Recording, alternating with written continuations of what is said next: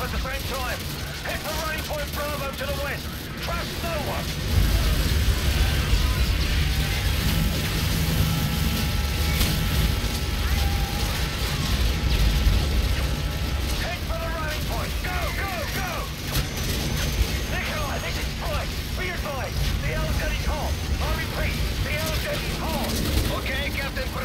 I am on the way. Try to get the situation under control before I get there, okay?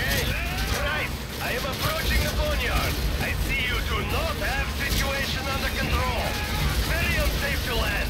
It looks like when I was in Afghanistan with the Soviets. Right, whatever you say, Nikolai, just get here, sharpish. So, I'm gonna get some transport. Make your way west towards the runway. Look, let's let the Shepherd's men kill each other off as much as you can. Captain Price, I'm taking off in one minute. You better hurry if you want right out of here. We could use their comms to listen in on their radio traffic. I'm gonna try to protect my girl. Hey,